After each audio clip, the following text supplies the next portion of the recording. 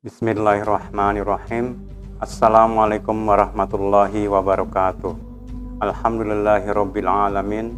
Wassalatu wassalamu ala Rasulillah.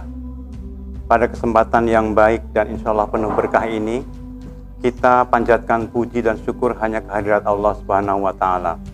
Karena kita masih diberi kesempatan, kekuatan, dan semoga senantiasa kesehatan untuk melanjutkan tugas dan pengabdian kita.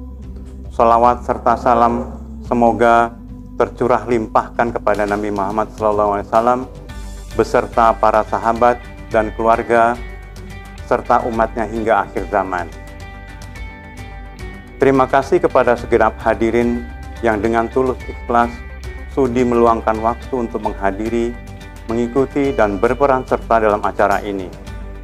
Acara open house ini sudah dilaksanakan untuk ke kali kelimanya sejak perguruan Islam Kamila Insan Cita berdiri. Acara ini merupakan salah satu usaha kami memperkenalkan lembaga pendidikan formal yang dikelola oleh Yayasan Kamila Insan Cita untuk turut berperan aktif dan mewujudkan tujuan pendidikan nasional, yaitu mencerdaskan kehidupan bangsa yang berakar pada nilai-nilai agama, kebudayaan nasional Indonesia, dan tanggap terhadap tuntutan perubahan zaman. Ada yang berbeda dengan acara open house kali ini. Terkait dengan pandemi COVID-19, kami harus melaksanakannya secara virtual dan melakukan perubahan jadwal pelaksanaannya tanpa mengurangi maksud dan tujuan acara ini.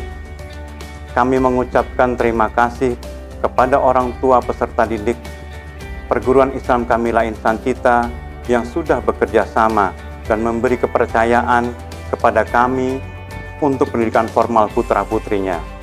Semoga kita semua dapat meningkatkan kerjasama lebih baik lagi dan saling mendukung demi kemajuan perguruan Islam kami Insan Cita.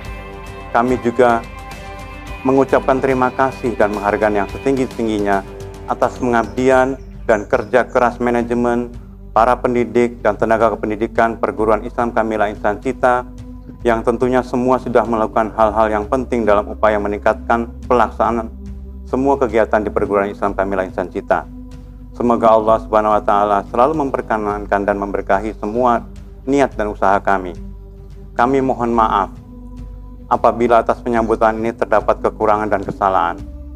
Wabillahi taufiq wal hidayah. Wassalamualaikum warahmatullahi wabarakatuh.